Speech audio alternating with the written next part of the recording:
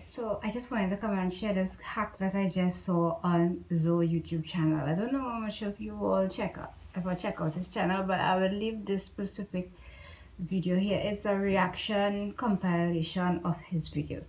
So he had a bottle, he fill it right up with water, right? Let me just let me just add a little more water in here just to make sure it is full to capacity.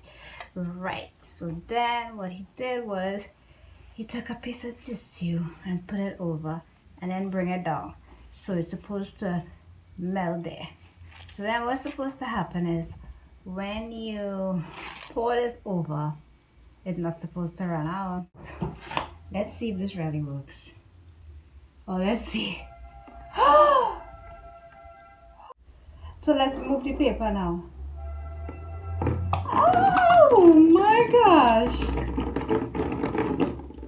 it works. Go figure. Check it out.